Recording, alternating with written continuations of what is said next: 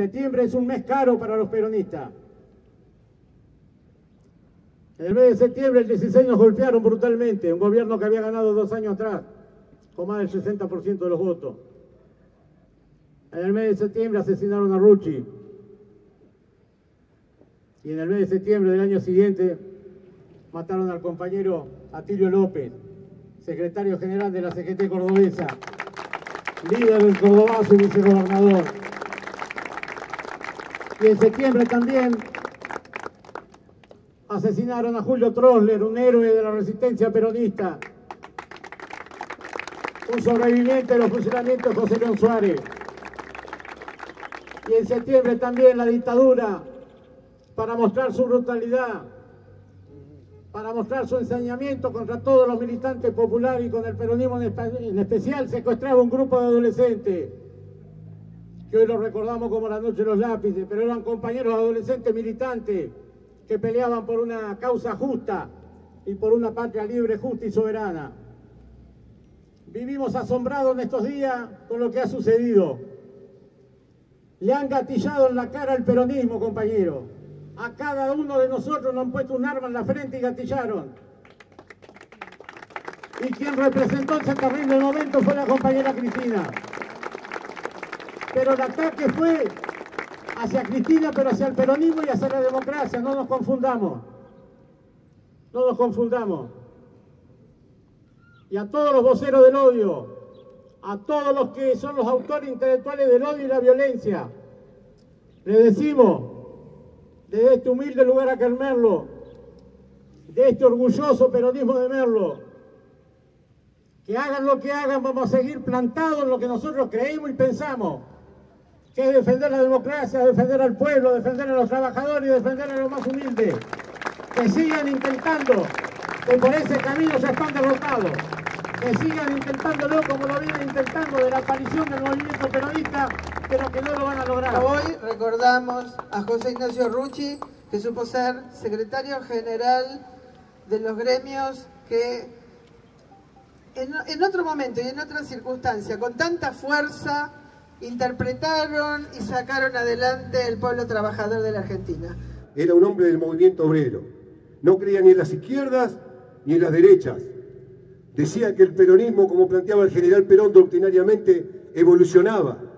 Que entonces era importante que su dirigencia se actualizara y se pusiera según las circunstancias de la historia de nuestro país y del mundo. Que lamentablemente este septiembre maldito, como bien decía Eduardo, ¿no? Este septiembre maldito nos vuelve a poner en una situación que creíamos que ya era parte del pasado en la Argentina.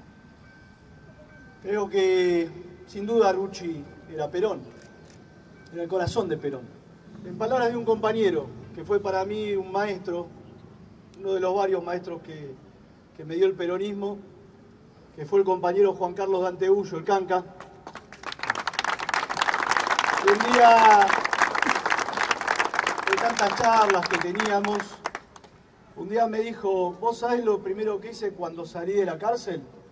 Yo dije, bueno, no sé, fueron tantos años, tantas situaciones horribles, la pérdida de, su madre, de su hermano a, manos de la dictadura, y él me dijo, lo primero que hice cuando salí de la cárcel fue ir a ver a los hijos de José Ignacio Rucci, porque él creía en lo que teníamos que resolver era esas heridas dentro del peronismo, porque el peronismo era sin duda el pilar sobre el cual se debía sentar la recuperación de la democracia argentina. Le pregunto a mi viejo el tema de Ruchi, le digo, che, papi, ¿cómo es el tema este? Explícame.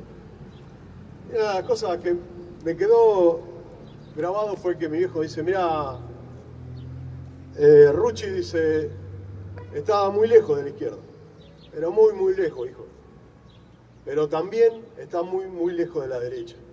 Ruchi peronista, me dijo. ¿Y cuánto tenemos para aprender de la historia? ¿Cuánto de los errores y también cuánto de los aciertos? Hoy tenemos una patria atravesada por el dolor de haber sido gobernada por un grupo de sinvergüenzas que volvieron a endeudarla, que volvieron a ponerla de rodillas, que volvieron a sembrar el odio, que volvieron a atacar permanentemente al peronismo que tiene todas las herramientas, todas las herramientas, que esas herramientas son sus propios militantes, sus propias barriadas, tiene todas las herramientas para poder volver a poner a este país de pie. El año que viene se pone en juego el destino de la patria. Hoy aquí, en este día, todos estos que estamos aquí es un motivo de verdadera esperanza. La lucha no solamente no está perdido, el 2023 no está perdido. No le Cuando digan eso en la tele, apaguen o cambien.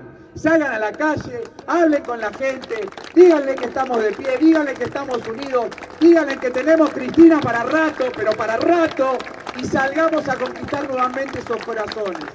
Compañeros, querido Aníbal, para mí es un honor ya tener institucionalizado este día, el día de José Ignacio Rucci aquí en Merlo. Esa lucha hay que reivindicarla, tanto la del 55 en adelante, como la lucha que se llevó después, desde el año 76 en adelante, cuando yo siempre digo que en el subsuelo de la tierra del sindicalismo siempre estuvo, estando presos o no, dando directivas desde los barcos a los compañeros para que se organicen y poder lograr lo que fue después del año 83. Por eso es la importancia del movimiento obrero en lo que es el movimiento nacional justicialista cuando se dice que es la columna vertebral.